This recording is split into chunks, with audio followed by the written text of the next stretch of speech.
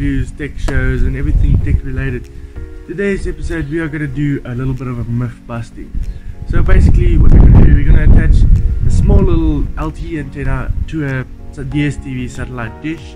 We're going to try and improve our signal strength, speed, and ultimately latency. And we're going to try and see if we can do this without breaking the bank. As you guys can see, we're on the roof. It's very windy up here.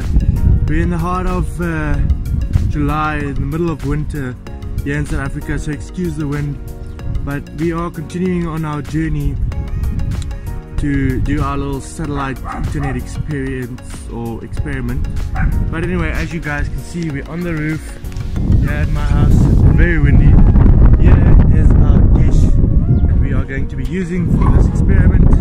And as you guys can see, we're tilting it around we are going to be removing the LNB and we are going to be straight up installing the 1 dBi antenna on here and pointing it to the closest tower. And let's hope for the best. A few side notes though. What I will be doing is I'll be adding that Teltonika on the roof with a network cable going down so that we can sit down in the house and see what our speeds are and what our signal strength and stuff like that is. I will be adding a UPS on the roof simply because I need to power our router and yeah it's as simple as that I'll include some more b-roll shots as the progress goes but unfortunately I cannot keep the video rolling while actually doing this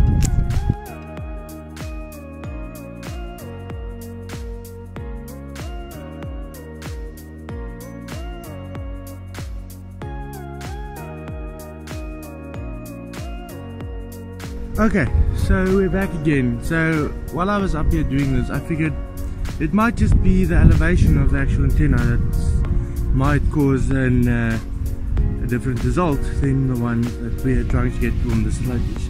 So basically what I've done is, uh, I decided not to go with UPS because clearly the battery was flat and uh, actually went up and I ran a cable all the way from my uh, office up the roof to give the router power and then obviously the antenna. So basically what I've done is I've set up the experience so, so as you can see there is our little guy. So this is on the roof without any dish, nothing. So just to make sure that the actual elevation of the antenna doesn't make a difference or it, it probably will make a difference but the so that the, the dish, we have definitive results between the dish and elevation, if that makes sense.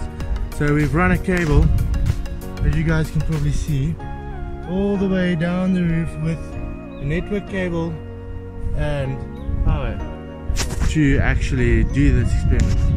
And then we have our 1 dBi antenna on the dish, all the way down, not plugged in at all present moment, so we can get a few different data sets so we can determine what actually works elevation or with the dish and elevation versus because we're all using the same antenna throughout. So it's a 1 dBi SMA connector dBi omnidirectional antenna which also might have an impact on what we're actually doing because if we're pointing a directional antenna to a dish which directs it back that might have a big difference. But that's not our experiment. That might be like part 2 or something.